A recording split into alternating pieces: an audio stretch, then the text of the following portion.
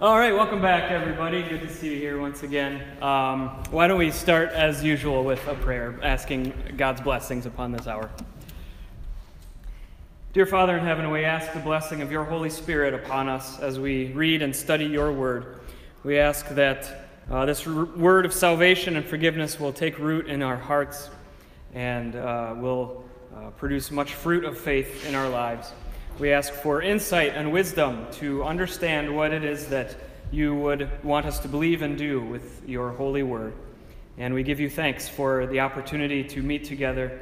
Uh, and we, we thank you especially for the freedoms we have in this country to be allowed to worship and meet together around your word publicly.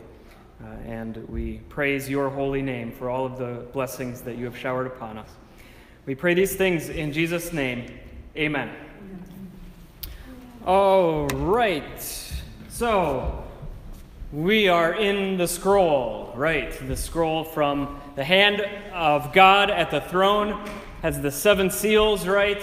And the Lamb is opening those seals one by one. And the first four of the seven seals are these riders. The horsemen of the apocalypse is what they're called. The first one we looked at last, we looked at the first one and a half maybe last week, uh, was conquest, right? And then um, we, we sort of got into how do we interpret this, these uh, symbolic figures. Uh, we, we take a look at the evidence that we're given in God's Word, and then we use God's Word to try to understand what is being said here. Um, and so uh, I think that this uh, first rider, first horseman, is just conquest. It's reflecting what Jesus says about the end times elsewhere in Scripture. Uh, he's saying in the end times there will always be nations and forces bent on conquering others. Uh, and given the context, this seems to be the best interpretation. So, and last week we talked about um, sometimes this is this horseman is thought to be pestilence because the idea is conquest and war are the same thing, but they are different things, right? There's a difference between invasion and warfare. Which leads us to the second rider, which we ended on last time. Uh, he has the fiery red horse, given power to take away peace and to make people kill each other, and given a large sword. Uh, and so it's obvious that this horseman represents war, but that, you know, specifically warfare, but more generally violence as well, bloodshed. Uh, he, he's generally allowed to take away peace from the earth and make people kill each other. So it's a much wider, uh, sort of general fifth commandment type of uh, situation. And the great sword, he is given the great sword, which is a very common image for warfare, a metaphor for war and violence, fighting, quarrels, division, that sort of thing. And this is what Jesus, just sort of like conquest, this is what Jesus predicts for the end times. Uh, there will, both of these are from the same account. Um, there will be wars and rumors of war uh, that Jesus predicts happening. Um, and you uh, family even will turn on each other. Uh, this also includes violence, insurrections, hate, just general hatred and lawlessness. And we had a good discussion last time about how that, you know, the hatred can really get in our hearts and, and affect things in the world and cause and create violence. Um, and it's really only the peace of the gospel that brings true peace to our hearts. I think, I think that's where we ended last time. So I think that we're done with the review and into new territory. So we're continuing talking about war. Note that both the power to take peace and make people kill each other, and also the giant sword, both of these things, the power and the sword, are given to him. They are not his at first. Uh, and this is interesting to note that he, this horseman, or just the idea of war in general, would have no power if God did not give it to him. This is what Jesus says uh, to Pontius Pilate, right? But, you know, when he's on trial before his crucifixion, um, he says, "You would have no uh, uh, power over me if God did not give it to you." Um, uh, which sort of complicates uh, things a little bit uh, because it sort of raises the question does this mean that war and violence are gifts of God? If God gives this horseman and gives just sort of general warfare the power to take peace, to make people kill each other with the sword, does that mean that war and violence are gifts of God? If God has all power, if He's the source of all authority, what happens when earthly authority starts killing each other? You know, what does that say about God who gives the power? Another question related to this that's very difficult is Does God cause war and violence? If He is all, lo- you know, this is a, a common thought. If He is all loving and all powerful, and He allows wars to happen and violence to happen, does that mean He causes war and violence and does not ha- or does not have control over it? Yes. He has control, but I always think He doesn't cause, but He allows. Am I right Yes. You know, yeah. I mean, He allows these things, and I don't think He causes, but Bible tells us we always have wars and rumors of wars. Mm-hmm. Never going to get it completely away until Christ comes a second time. But He does right. allow a lot of things that maybe I wish wasn't allowed, but they yeah. are. yes. Yeah. So God is not the. Looking to God. Yeah, God is not the direct cause. He does allow things to happen that He did not institute or um, would, you know, that He would condemn as well. And we'll look at, you know, reasons why He might allow some of these horrible things to happen. Usually they teach us a lesson. Yeah, sometimes to teach us a lesson. Yeah. we keep repeating our history. Uh-huh, yeah, right. There, there's nothing new under the sun, says the scripture. Yep.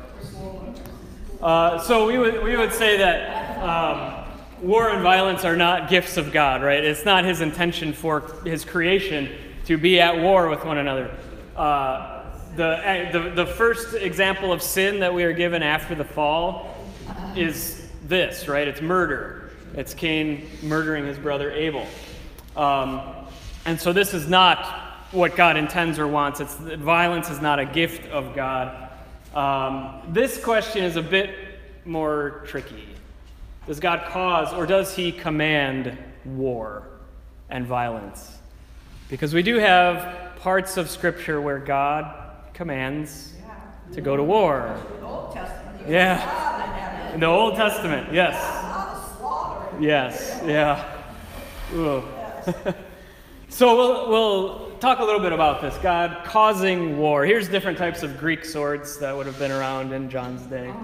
Um, God gives power. God is the source of all authority. He gives authority, He gives power, but He does not cause misuse of that power. Right? So He gives the authority to earthly governments and people, but that does not mean He gives them uh, the, the abuse or misuse of that power. So, war and violence are not gifts of God, even though they are given, the power is given to this horseman. God allows us free will, which, when you have a bunch of sinful people running around, free will complicates things, right? God allows us free will, which we can use to sin, but He by no means causes sin, and He does not desire sin, right? Um, and there's, yeah, there's a number of things we could, uh, explanations we could come up with from Scripture as to why God allows certain things uh, to happen in this world, if He is all powerful and all loving. Um, sometimes it might be to teach us a lesson, to humble us. Uh, we might be getting a little too big for our britches. Um, sometimes it might be to uh, help the spread of the gospel in some way. Um, and, and really, all, all that happens, uh, or you know, what happens in this world, the reason the world is allowed to continue going on is solely for the spread of the gospel, for the salvation of souls. Uh, that's what it comes down to, really. Um, so, God gives authority, give, and He uh, Romans 13 is kind of the chapter of the Bible on governing authorities um, and it, it says uh, the governing authority is God's servant, um, both to reward good, lawful civic behavior and to punish lawbreaking and to punish uh, sin, basically. Uh, but God, because that's the role of earthly government, then um, law breaking in itself, when you're in that role, is not what God calls you to do to, in that position of authority, right? Um, so even the authorities are beholden to God, who gives all power and authority. Uh, he does not, just because God gave the authority of the office, does not mean he approves of the abuse of that authority, of that. Uh, and so the one of Jesus' points that he makes elsewhere um, is that those who persist in any, any type of sin, but specifically here, violence, murder, bloodshed, wars that take away peace rather than ensure peace, um, they will die in sin. Those who persist in keeping on sinning, uh, it becomes open and unrepentant sin. It, it, kills and drives away faith from the heart. Um, and this is also where we need to distinguish types of wars as well. What we might call a just war, a war that has a just cause. Um, and, and the type of war which would entail violence and bloodshed and killing. The type of war that would be just is a war that would ensure peace and safety for, and freedom for other people. Um, and so a war that actually takes away peace or takes away safety or freedom, that uh, you know is pretty questionable. Uh, so G- God does not approve of violence or bloodshed. He says, Jesus says, those who take the sword will perish by the sword. This is sometimes uh, translated as those who live by the sword will die by the sword. That's not exactly accurate. It doesn't mean those who take up the sword will perish by the sword. And this verb uh, has an idea of ongoing, repeated action. Those who make it a habit to take up the sword will die by the sword. And that's sort of, that, that is true of just sin in general. Those who make it a habit of sin will die in that sin uh, because it is faith harming and ultimately faith killing. So it is a little complicated um, as far as uh, God giving the, giving the power to take away peace from the earth to this rider, um, to this horseman. But ultimately, we know God is a God of peace, and uh, He does not approve of violence or bloodshed. It's one of the commandments not to do that. So, but sometimes, in order to ensure peace, uh, war is a tragic necessity on earth, and the sinful, fallen earth. Uh, okay. Sorry, this is the fine print. I'm sorry if you can't read that. There's a lot of thoughts here we could do an entire Bible study just on what I'm going to say here. Uh, and if you're interested in that at some other point, we certainly can. This takes us back to when war is commanded by God in the Old Testament, not in the New Testament at all, only in the Old Testament. Uh, so here's the fine print. There you go. Now you can see that better, right? Okay. okay. So God did command the Israelites to claim the promised land, right? After they were in Exodus from Egypt and wandered 40 years, he gave them the authority and the command to claim the promised land. This is a concept of what's called holy war. Yikes, that is a loaded phrase these days, right? Um, and this was called, in the Old Testament, this is called cherem. That's the Hebrew word for it, cherem. This is a very specific idea and it means devoted to or banned, one of those things. And so the idea is the people of idolatrous nations were devoted over to the hands of the Lord for judgment, righteous judgment.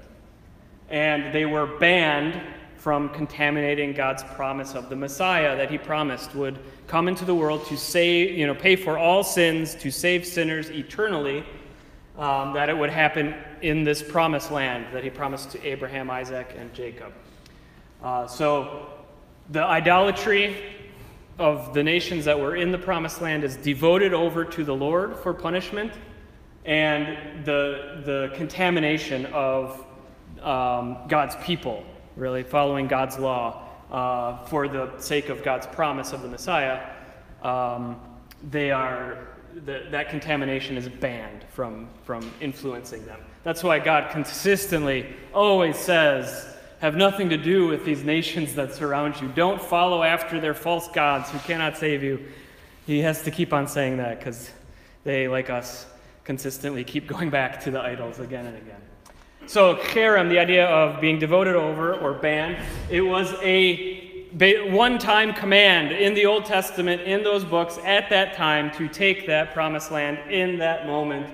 And it reached its fulfillment of the establishment of the nation of Israel, the kingdom of Israel, from which uh, would come David's line, King David, right, uh, which is the Messiah. So it's all for the sake of the eternal salvation of the world that God desires. The influence of idolatry and sin and this, those nations, those particularly horrific sins that they committed, um, they could not be allowed to endanger God's plan of salvation. So, cherem was God's, the Lord's mission of salvation. It is not a human, human or national mission of conquering other people, and it's not a human mission of genocide against others. It is the Lord's mission that is a one time command. We absolutely cannot. Uh, you know, go, claim this as a reason for going to war today. Um, the eternal fate of all people throughout all history of the entire world was at stake here. God had to do what was necessary. Uh, and he, we see that when they do conquer the people, God says, Do not take even a trace of spoils from them. Don't take a single possession, because that might contaminate this promise. We see that with the sin of Achan, I think is how you pronounce it. He was someone where they, they went in, the Israelites went in and they conquered, and God said, Don't take a single thing. And he took some things and he hid them in his tent. Um, and he was punished for it. He was put to death because he took things that had been, uh, you know, part of idolatrous nations and practices. It had contaminated this promise of the salvation of all people. Okay, so, but, we're going to get through this. But, Pastor Kempfert, you might ask, won't that end the time of grace for all of these nations? If God wants all people to be saved, won't going in and killing all of them end their opportunity to be saved? Yes, it will end their time of grace. But we know from elsewhere in Scripture, and this is not talked about very often, we know from elsewhere in Scripture that God's word had spread to these nations. People had told about what God had done through Israel. I mean, the plagues in Egypt were a big deal. Going through the Red Sea and all of Pharaoh's army being destroyed was a big deal. Word of this went out to all of these nations. These nations had everything that they needed to trust in the one true God. Um, one example of this is uh, Rahab in Jericho. She's a citizen of Jericho, and she says um, she heard reports. People have spoken reports about the work of the Lord, and she believed in him as the one true God. She had faith because she heard the word, the reports of the one true God going out, of all that um, God had done for Israel in Egypt. Uh, she mentioned specifically the Lord saving Israel through the Red Sea, which was 40 years ago by that point. People were still talking about it, word had spread, uh, and they were still terrified by it, too. Uh, everything these nations needed to be saved was presented to them in this word of God going out, and they still rejected it in favor of worshiping idols made by human hands. Uh, we see this example when um, the, the Philistines capture the Ark of the Covenant and they bring it back to their place. Um, they put it in alongside uh, their statue of Dagon, which was most likely a fish god. And in the middle of the night, someone, uh, well, God, supernaturally pushes over the statue of Dagon, and so they set it back up, and then he does it again the next night, and the head and the arms of the statue fall off. This is a great account. I really love it. It's so creepy. Uh, it's great. Um, but anyway, so these these nations are given in the reports and in uh, sometimes the very ark of the covenant of God. They are given everything they need for saving faith, and they still reject it. They go to worshiping idols made with human hands. They go to horrendous pagan rituals that included temple prostitution and human sacrifice. Uh, these are not good things that are happening. And so, uh, now that this com- really, really controversial issue and difficult issue has been perfectly cleared up once and for all, we can move on, right? it is a very difficult, uh, complicated issue. I don't want to say that it isn't. Uh, I don't want to say it has an easy explanation or solution. Um, but I think it's important to know that we do have scriptural evidence, historical evidence. The Word of God went out to all of these nations and they rejected it. And by rejecting it, by continuing these horrible practices, they were actively endangering the salvation of all humanity. Um, that's basically what it boils down to. So God gives Israel this command to go to war and conquer and kill them, um, to devote them over to the judgment of God. Israel is not making a judgment against them here, they are devoting them over to God's righteous judgment, right? Any questions about this? Okay, all right. There's a lot more that could be said too, but. Uh, okay, so we are on the, any questions about war, the, the second rider, the second seal, before we move on to the third one. All right, so here we have the third seal, uh, Revelation chapter 6, verses 5 and 6. When the Lamb opened the third seal, I heard the third living creature say, Come. I looked, and there before me was a black horse. Its rider was holding a pair of scales in his hand. Then I heard what sounded like a voice among the four living creatures, saying, A quart of wheat for a day's wages, and three quarts of barley for a day's wages, and do not damage the oil and the wine. All right, so I understand all of the words of that sentence, but I have no idea what it means, right? like, it's one of those things where, okay, I get it, but what is going on here? So we're going to talk about what this means. Here's what we do know about the third rider. Rides a black horse. And this is where we get into what the, the colors of the horses mean specifically. Holds a pair of scales in his hand, balancing weight scales. And the scales here measure out food, foodstuffs, wheat and barley in particular are mentioned and then a voice assigns a price to those foodstuffs. So a quart of wheat for a day's wages, um, and uh, sorry, maybe maybe your translation has a quart of wheat for a denarius or something like that. That might be in there. We'll talk about that. A quart of wheat for a day's wages, and three quarts of barley for a day's wages. So it's assigning a day's wages price to these measurements of foodstuffs, wheat and barley. Very necessary, absolutely necessary foodstuffs that people just had to have. Uh, and what, what we don't realize necessarily in uh, this day and age, looking back at this culture, is the amount of goods that's weighed out and the prices that are assigned to them are very imbalanced. Uh, this is not what these uh, foodstuffs would have cost back then. Um, all right, so this rider is particularly hard for us to understand because we don't use measurements like our what in the original are in the original Greek text. We don't use money like a denarius anymore, um, and you really need to sort of grasp a particular social and cultural situation that was present in this time in history. So let's at first just say nothing about this horseman is good. It's a very bad, very sad horseman. Um, makes me want to cry. Uh, so, first, the black horse. This, is, this translates to today. It's not good. It's not a good sign. Um, for us, black usually means death, uh, and it's connected to death and dying and, and grief. Uh, but in the Bible, the color black has a different uh, meaning behind it.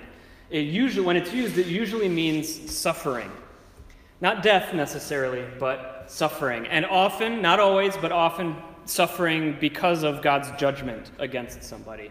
Here's a number of examples where the um, color black is used symbolically to mean suffering. Um, uh, and yeah, there, it's all throughout Scripture, Old Testament, New Testament. So, first we have to realize black symbolically is not a good, a does not communicate a good idea, but it, it doesn't mean death necessarily. It means some sort of suffering.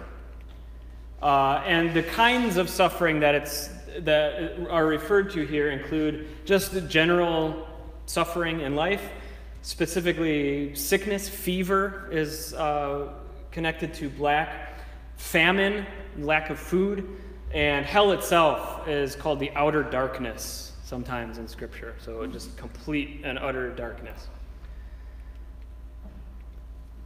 All right, so that's the black horse. Second is uh, are, are, the scales that the rider holds. Um, these would have been you would have put the item or food stuff on one side and then balanced out the weight of the money on the other side to uh, figure out how much the food stuff was worth, how much should be paid for. Uh, scales measured out amounts of food in the market to determine the price to pay, very similar to what we have today, right? Um, and you know, these scales, they're always just a little bit past zero, right? Butcher always has his thumb on the scale, you know. uh, but it's the same principle. You put the food in, and the amount of weight of the food is the price that you pay for it. One Greek quart that's listed here is uh, about one liter, the volume of one liter. So half of a two liter of, of Coke, you know, uh, worth of wheat. One denarius is a day's wages, just the, what the average worker could earn in one day of work. And a quart of wheat a day could barely keep one person alive. So the amount of one liter, roughly, of wheat was enough barely to feed one person. So the idea here is you work all day from sunup to sundown, and you earn just enough money to barely feed yourself. Sounds like college. I don't know about you, but um, a lot of ramen, a lot of ramen. Um, and then, so there's one quart of wheat that's given one day's wages, but then there's also three quarts of barley. Barley was a lot cheaper to, to grow and produce than wheat. It was sort of the, the poor man's wheat during this time. Barley loaves were really, really just common kind of like street food type stuff um, with three quarts of barley could barely keep a small family alive. So someone goes to work and the family works all day and barely has enough money from that day to feed their family. They're just barely squeaking by with what they're doing here. That's the idea behind these the, the amount of food, the type of food, and then the price. So if, if someone couldn't afford wheat, they would go to barley. The quality of the bread was not nearly as good, but um, that, that is what is necessary, basically. Uh, so this, this, there's an idea here of rationing. You're rationing out certain amounts of food that are very, very expensive. Um, and rationing was, at this time when John was writing this in the Roman Empire, rationing was enforced during times of famine when food wasn't produced enough to feed all of the people. Then the government would ration the food. Uh, actually, we see that even in the Old Testament with Joseph in Egypt, right? Uh, he, he builds up the grain uh, storage bins to uh, bring in all of the food from the seven years of plenty so that way they can ration it out during the seven years of famine. Um, this is not from famine, this is rationing from the war. So, like, this still goes on, you know, in, in living memory. This is from World War II. This was weekly British rations in wartime. Uh, not a whole lot you see there. Um, and the kind of the biggest thing is the tea, right? That's what you absolutely need when you're in Britain. Um, and here is more recently, this is an image of weekly Syrian refugee rations. This is the food that is given to a Syrian family in a, in a refugee camp in 2019 last year to last the week. These get you, I think, like three pounds of rice and flour, um, but very, you know, rationing, of course, means times are very difficult and it's a very limited supply of food that needs to last everybody. Um, so we still have, the, even though this is sort of a confusing, out of date rider, there still are aspects of this we can understand, and that's sort of our entry point into what this writer means. Um, the high prices that are assigned to these goods, this is about eight to ten times the normal price for wheat and barley. Uh, this indicates a very severe famine throughout pretty much the whole land, not just locally. Uh, so the idea that's being communicated is there th- these very limited supply of food is selling for an enormously high price. Uh, so there has there must be a severe famine throughout the the whole land. Everybody is suffering. Um, and so, I mean, this would be like paying $30 for a gallon of milk today, or $60 for one Big Mac meal. If you want a Big Mac meal, you got to pay 60 bucks for it. This is sort of like you work all day to earn just enough money to feed yourself for that day, and then you start all over the next day. Um, okay, and then we get this very puzzling, kind of cryptic phrase at the very end uh, a quart of wheat for a day's wages and three quarts of barley for a day's wages, and do not damage the oil and the wine. So we have two more, uh, what we might call foodstuffs, oil and wine, both of which also were necessary during this time. Um, wine was uh, was drunk, drunk, drank. I don't know. They drank wine. Uh, my brain's not grammatically inclined at the moment. They drank wine more than they drank water because water, you got sick from drinking water, right? But if you fermented uh, water with grapes into wine, then the alcohol killed the germs and the bacteria, right? So they had what was a very weak wine. It was maybe like 2 or 3% alcohol. So it's not like the stronger 15 to 20% alcohol wine that we have today. But wine was just sort of the, the daily drink because water was dangerous to drink. You couldn't always risk it, you know. Um, so wine was sort of a daily necessity for people. They also had stronger, more fortified wine that, you know, when you were, you know, celebrating Bacchus or whatever, you could drink that. But, um, oh, so yes, so do not harm the oil and wine is sort of like, I understand what you're saying, but I have no idea what you're saying, right? what, what does that mean? Do not harm the oil and wine. So this could mean do not waste the oil or the wine during the famine. They're very precious, so don't waste a single drop of any of it. Or it could also mean do not harm, do not destroy the oil and the wine because of the economy, which I realize probably makes no sense. And I still don't think it makes sense in my own brain. But there's a reason for this. Why? Because of the national economy, you might destroy oil and wine. There's a historic event that happened. And so we're going to go to Pastor Kempfert's super awesome fun time history lesson of the day. Yeah! Learning is fun. All right, in the year AD 92, there was a severe scarcity of grains in the Roman Empire. And this combined with an overwhelming supply of grapes. And this led the Emperor Diocletian, uh, who was the emperor at the time of the book of the writing of the book of Revelation. He was one of the persecutors of the Christian church. This scarcity of grains and the plentiful grape harvest led Diocletian to destroy half the vineyards. The grains were so scarce and expensive that, and the, the grapes were so cheap and plentiful that vineyard owners could not afford to buy the grain they needed. So his solution was to destroy half the vineyards to make the price for grapes go up, and that way the vineyard owners could get more money and could afford the grains and uh, so he destroyed half the vineyards. He thought it would balance out the low price of grapes and wine, which was a very important industry at that time, with the very high price of grains. And I'm, I'm kind of like, I'm not an economist, so maybe this makes sense, I guess, but I don't know if I quite understand his reasoning. It did not work, and people got very angry with him because he destroyed half of the vineyards, and it still didn't work. Um, and, and, yes, now you know something. Yes, there we go. Uh, so this was in very recent memory when John was writing this. So it's possible do not destroy the oil or do not harm the oil and wine is a reference to don't take this drastic measure to destroy the vineyards to try to uh, make it through this famine because it will just get worse. It won't work and people will get really, really mad at you. Um, uh, so that, that's one thought, that this is maybe a reference to that part. The whole point is this, is, this indicates a famine, a very severe famine throughout the entire land. that there's no solution to, right? There's no easy way to fix it.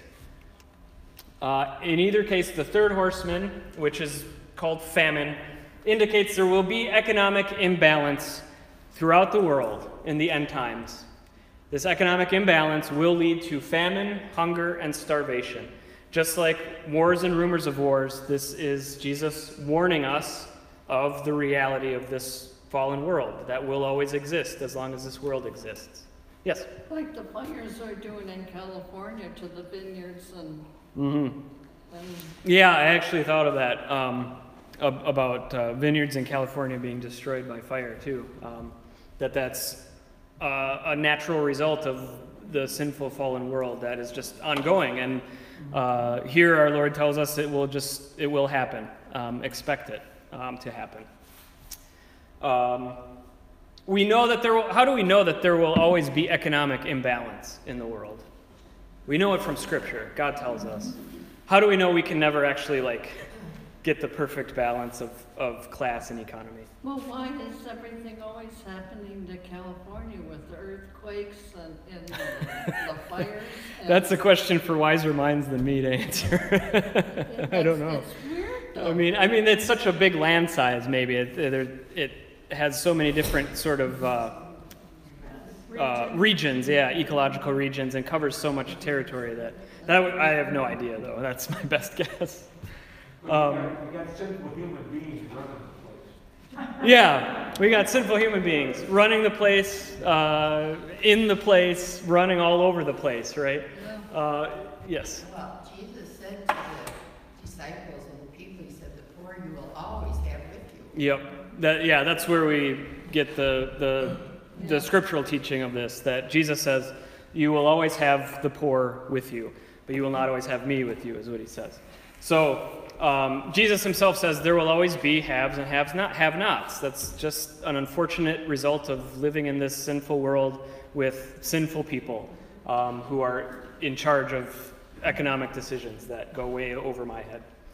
Famine, poverty, and hunger will always be present throughout the world until Christ's return. That's what this horseman is telling us. Um, and it's not giving famine, hunger, and poverty the blessing of God. It's just saying this is the sad reality of the world in which we, we have found ourselves. Um, these are this is scripture for when Jesus says, "The poor you will always have with you." However, the fact that there will always be uh, haves and have-nots, there will always be uh, the poor among us. This is not an excuse to neglect our suffering neighbors, right? Just because there will always be poor people, that's not an excuse not to help out people who need help, just because there will always be people who need help. Um, we still have an obligation to help others. Uh, okay, all right. Eventually, we're in the United States gonna have to have some help because we're getting further and further in debt. Nationally. Yeah, yeah. And We're gonna be at a point sometime in time that we're gonna be in need some help. And I'll be honest with you, I don't think we got it, Yeah. but we're giving away an awful lot right now. I don't know anything about any of that. happily, happily oblivious. oh. Um, all right. Any questions about famine? The third horseman. Um, and then, yeah, the one last thing is the, the, the horse is black, which the color of black is associated with suffering in the Bible. So this indicates that because of this famine, there will always be some level of suffering, whether it's economic suffering, food, you know, food related, not being able to uh, put food on the table necessarily. That will always be present there.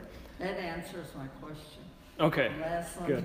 Um, and we, we, of course, do not trust anything in this world to provide for us, right? We, we trust God who loves us, gave his Son for us to die on the cross, so now how will he not also freely give us all good things?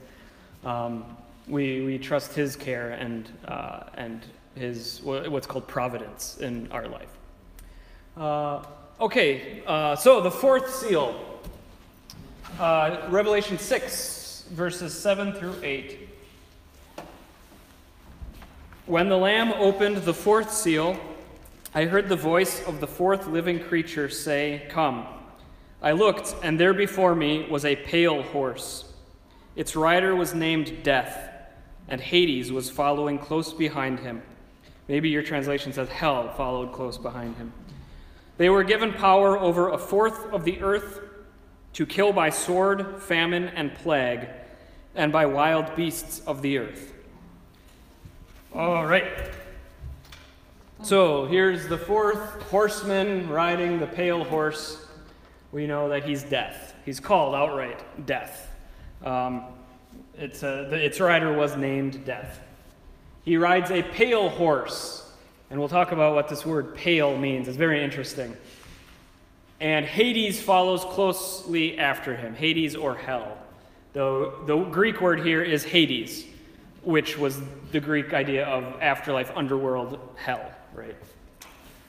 And he is given power over a quarter of the earth to kill by sword, famine, plague, and wild beasts. Now, the word that's used for plague is actually just the Greek word for death. Um, so he's given power over a quarter of the earth to kill by sword, famine, death, and wild beast. To kill by death, right? There's that great movie, Murder by Death. Has anyone seen that? Fantastic. Anyway, murder mystery comedy. Um, to kill by death. Uh, it's the Greek word for death, thanatos. It's a Greek word for death. Um, and so, so, sometimes you'll see it translated as plague. Um, I, I don't recall exactly why that's the case, but it's basically to take life either through violence, through famine, through maybe natural death itself, or through something like plague, black death, that sort of thing. Kind of like what we're going through now with the coronavirus. Yeah, yeah, could be. Yep. Um, eh, I still don't want to say that Revelation predicts the coronavirus. Though. I don't want to take that back from last. That was my great, great victory moment, you know, over the internet. Um, so yeah, the, the, Greek word for death is thanatos. Um, this worked when I taught this to my senior youth, my high school age kids. Anyone here a fan of Marvel movies like I am? Thanatos, the Greek word for death, is becomes the name for the supervillain Thanos. And his plan is not to kill a quarter of the earth, but half of the universe. That's his big master plan. Anyway, it's a, a cool little thing. Like in our culture, we still have Greek words being used. I love it. I love to see that. Anyway. uh, so the horse that death rides is pale. This word also means pale green or pale yellow. So it's not necessarily like a pale gray color. Um, the word is chloros, chloros, which is the word for uh, chlorine. Uh, chlorine in its gaseous state is sort of a pale green color. That's where it comes from. Um, so the, the idea is a pale green or yellow. More so than black, this color was associated with death. Because this pale green, pale yellow color is, was the color associated with dead bodies, rotting corpses, basically. Um, it was used in medical texts from this time. Greek doctors used it to describe dead bodies. Um, and we still use it today, this pale green color, you know, for Zombies are often portrayed as a, a green color. It's the same thing. So this color was what was associated with death. And Hades, the word Hades means hell, um, rather than sort of the general afterlife or the grave. In the Greek language and Greek literature, is this where I am now? Yes, okay. Uh, Hades first was the name of a god, the god of the underworld. There were three brothers. There's Zeus, uh, the god of thunder, there was Poseidon, the god of the sea, and there was Hades, the god of the underworld. Eventually, the name Hades for this god became the name for his underworld as well, Hades. Um, oh, there's Hades from uh, Hercules. Yeah, you can you can find him there. Um, eventually, Hades meant the underworld itself, and it meant a few different uh, concepts or things in the ancient Greek mind. Um, in the, the literature that we have from this time, Hades can mean just sort of the general afterlife, what happens to you after you're dead, whether it's the good place or the bad place, you know. Um, it could mean the grave, uh, as in just sort of the general realm of the dead, a sort of abstract idea of death.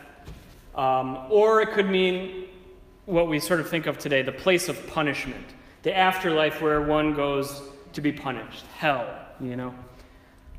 Um, here's a map of the afterlife, the Greek afterlife, everything they came up with. So there's uh, this is sort of just the general underworld. Here's the realm of Hades. Uh, uh, there's over here. There's Elysium. This is like heaven, sort of, where you'd go, the blessed fields. Here down here is Tartarus. You do not want to go there. That's the place of like for the worst punishment uh, possible. So they had uh, sort of developed and established this very elaborate idea of the afterlife. Hades could mean all of this. It could mean just specifically this sort of place where you go and you just sort of like hang out. You're, you're just sort of a shade or a specter, and everyone's just sort of like milling about for eternity. It sounds kind of boring. Um, in, in the Odyssey, the great Greek epic, Odysseus, the hero, goes to this underworld and he's, he talks with his mom there for a time. And that's where he's sort of at like his lowest point in his journey. Um, so Hades can mean a bunch of different stuff in Greek literature.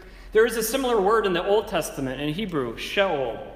And this means all three, in the Old Testament, it can mean all three of these things. Sheol can mean um, just the general afterlife. Uh, oh, mm, I forget who says they're, they're going to Sheol. It's one of the, the patriarchs, I think. Mentions that he's going, as he's near death, he's going to Sheol, and he means just of course, he means heaven because of uh, justified by faith, right? But it's just the it's just the life after this one. It can mean the grave, the general realm of the dead. Uh, oh, whoosh. so from the psalm. Um, no, I, uh, I don't know if I can say that for sure. But the, this word Sheol is used in the Psalms to go to the grave, um, to go down into the grave in sorrow or despair. Uh, and it can also mean, Sheol can also mean a place of punishment. It can mean hell. Um, uh, so, in, in, sort of Greek literature and the culture in pagan Greek writing, Hades can mean all of these things. It's a general word. In the Old Testament, Sheol can mean all of these things. It depends on the context to understand which one it's talking about. In the New Testament, in all of the New Testament scripture, the word Hades does not refer to all of these things. It refers specifically to hell, to punishment. Um, and so the New Testament writers use the word Hades to describe this place of complete uh, separation from God and His love, the place of eternal punishment as a righteous consequence of sin. Um, yes which is like I, I had someone ask why the what would be the reason for New Testament writers who are writing about this very specific idea to use a word for hell from Greek mythology. You know, people would associate this with this false pagan idea. Um, and our word for hell actually is from pagan mythology, too. The word hell is from Norse mythology. It refers to this same place. It was the realm of punishment, the realm of fire. Um, so it, we do the exact same thing today as the New Testament writers did. Uh, we take the word to mean this very specific thing. That doesn't mean that like we you know stole the whole idea from the pagans, as some people claim. Um, uh, all right, so here, here once again the old medieval manuscripts, medieval imagery of the of death riding the pale horse and he's dragging hell with him. Um, I love these old images of like hell and demons. They're kind of like these animal faces.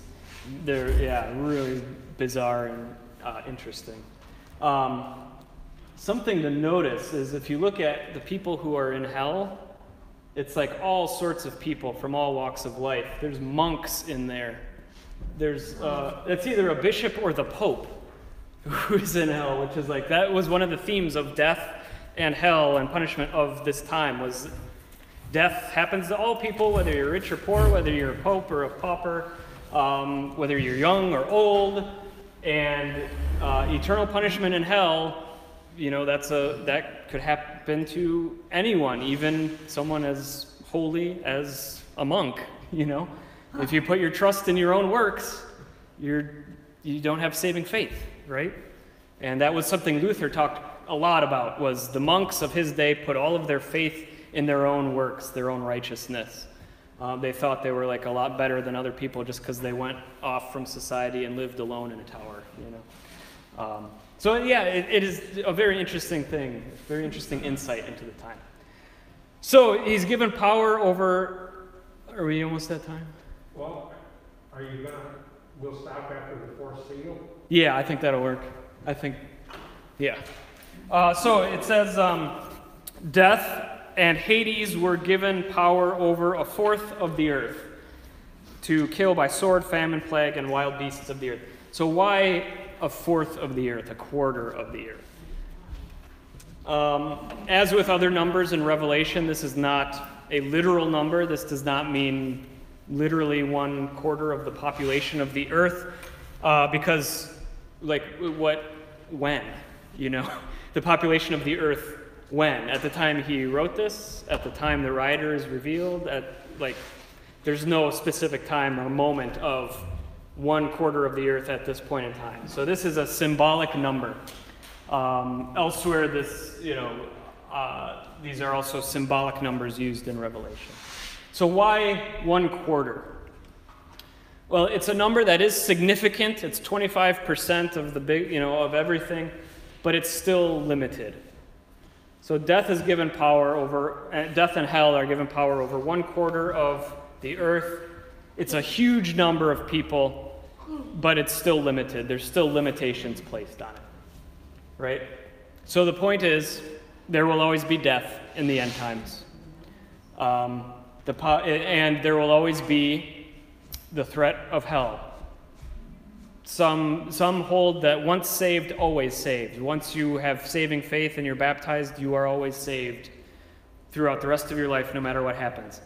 But that is not scriptural. We have examples from Scripture of people who had saving faith and then didn't. They were saved, but they denied the faith then. Paul says of two people, they shipwrecked their faith. They had saving faith, but they drove it aground. They lost it. Um, Judas might be one of those, you know, who at one point had saving faith, uh, true faith in Christ, but we all know how that ended too. Um, so that, the point of this writer is there will always be death. The threat of hell is real. Um, and we need to take it seriously. It's not just some fable that we've created to make people behave. Uh, there will always be, death and hell will always be sort of a looming presence in the end times. And it may seem dreadful, it may seem significant and like this huge, overwhelming force, but they are still limited and pretty severely limited too. Limited by 75%, right?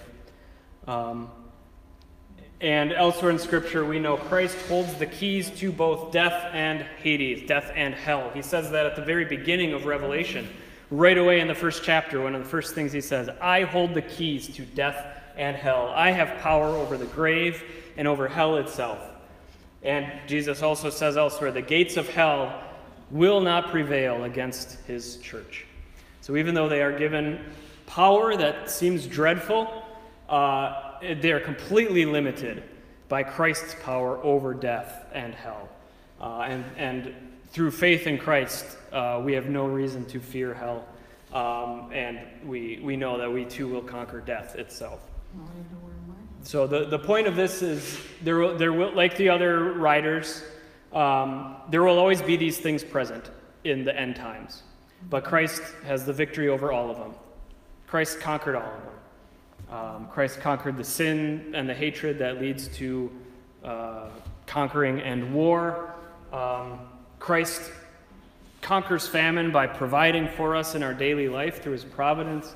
And on the cross, Christ conquered death and sin and Satan itself and uh, opened the gates of heaven to all believers. Uh, we can close just with this. This is a, uh, an altarpiece, and it basically, in visual form, tells the whole story of Scripture how death and hell came into the world and chased after us and persecuted us and stick us with pointy objects because of the fall into sin from Adam and Eve in the tree. Um, and here is the law. The power of the law has no power to solve this or to destroy these foes. The power of the law can only condemn us further by them and drive. I don't know if you can see it. There, this is hell. There's fires and demons down there. Um, it can only drive us further to hell. But then in the gospel, we have just as the serpent was lifted up in the wilderness that Israel looked upon to take away the venom of the snakes because of their sin, so the Son of Man must be lifted up to take away the venom of sin and our, you know, our sin and to give us life. And through this sacrifice on the cross, I love it when painters do this. I don't know if you can see this, but the blood of Christ is gushing out of his side and it's falling right onto his heart. And that's like what a great image of the sacraments, right? The blood of Christ from the cross